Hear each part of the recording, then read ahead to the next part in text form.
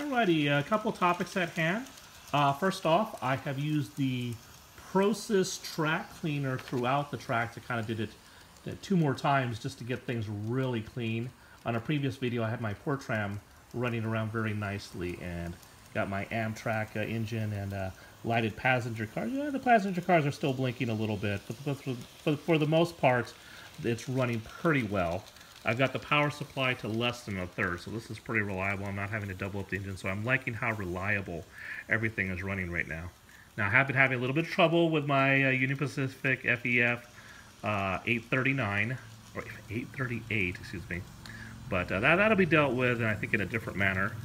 Uh, my next steps, now I got everything running reliably, is I have identified the high spots and I am planning on just really just sanding everything down to get everything really flat so that we have some good operation. Make sure I use my can of air to get all the plaster dust out of uh, out of the system here. So it's it's making some nice progress. Um, after I do the sanding, I, I, am planning on verifying it with sections of track, and I'm planning on setting up the whole track.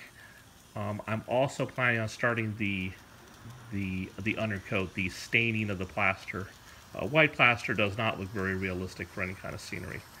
I'm hoping, that's what I'm hoping now, I'm hoping that as I put in the the kind of the texture to the plaster, these high spots and low spots and splatters are going to become less noticeable, or perhaps um, the the the um, the the pigments will kind of make it look I don't know, more real.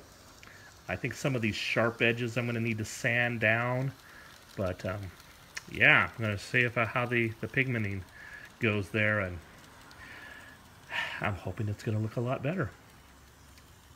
Alrighty. Thank you very much, everybody. Don't forget to subscribe. Until next time.